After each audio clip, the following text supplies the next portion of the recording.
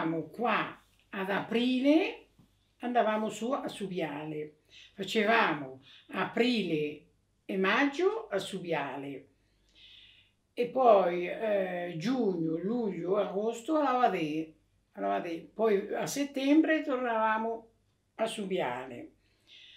A Subiale, poi si stava sul mese di settembre a Subiale, poi si tornava giù che si portavano giù nelle vigne per fare il letame, per concimare le, le viti. Salivamo su con le mucche e le capre si saliva su verso le, le, le 4 perché tutti i giorni dovevamo fare su viale in trozzo, su viale in trozzo, scendere, salire alla sera e scendere al mattino. E poi si veniva giù, si veniva giù che bisognava poi andare nelle, nelle vigne a zappare perché c'erano i pezzetti da tenere puliti sotto le viti. A maggio, quando si cominciava a falciare il fieno, bisognava venire giù e falciare il fieno. Poi dopo la sera andavamo su, c'erano queste mucche da pulire, certo, si mungeva, si portava il latte alla latteria, alla latteria poi, eh, poi si stava in cascina e non se ne parla più.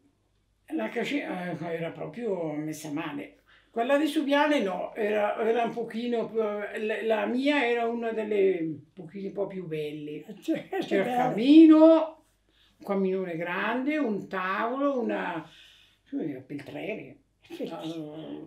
Posso permettere questi piatti. Il letto, quattro assa, e, e il pagliaio di, di, di foglie di, di, di castano.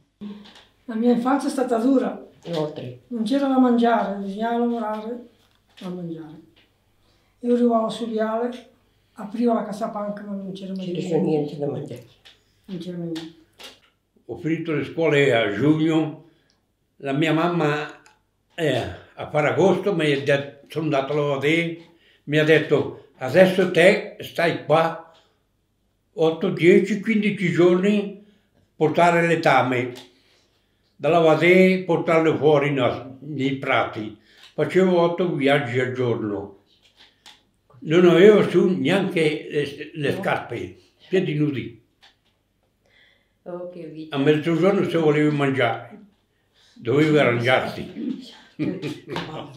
Andavo in montagna, sui monti con le bestie. Il mese di eh, aprile e maggio stavamo qua a Suviale, il monte che abbiamo qua sopra la casa. Ecco, e il mese di giugno li portavamo, le mucche portavamo alla vadè, facevamo formaggio, burro, stavamo dentro noi, venivamo a casa a lavorare, la campagna, alla mattino e alla sera andavamo su, le bestie arrivavano dal pascolo che c'erano sui pastori e andavo dentro a mungere e portavo la latteria, tutto così. C'era la latteria, portavamo il latte e poi ogni quindici un mese andavamo là, mi davano il burro, il formaggio che aveva reso questo latte. Ecco.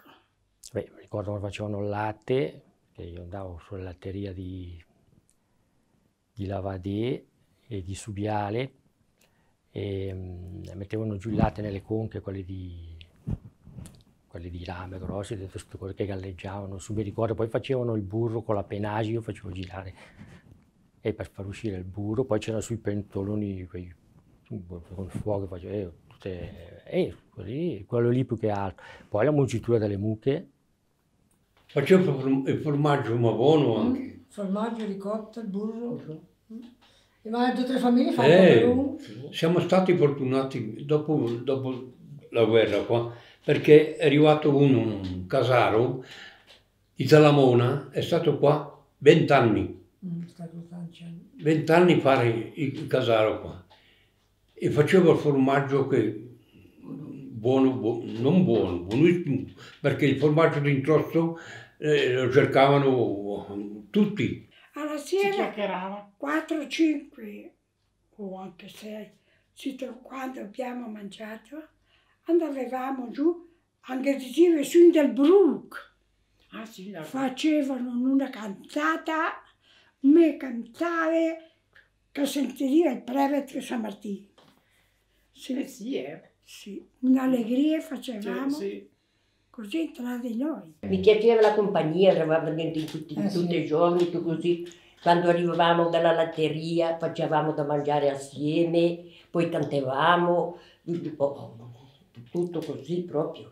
Sì, sì cantante, sì, quanto, sì. quanto cantare. Per sui monti in Trovadese, entro quando ci trovavamo con Alla sera, alla sera. Sì, allora sul sole ti sentivi di Chisico, sì, ma c'erano di qua che avevano una voce bestiale, eh. Da sul Subiale si andava a un posto, facevano dei versi lì e qua in trotto si sentivano. gli davano risposta. Eh, te. Che era un div- un divertimento. Per farsi sentire. Per farsi sentire, eravamo contenti.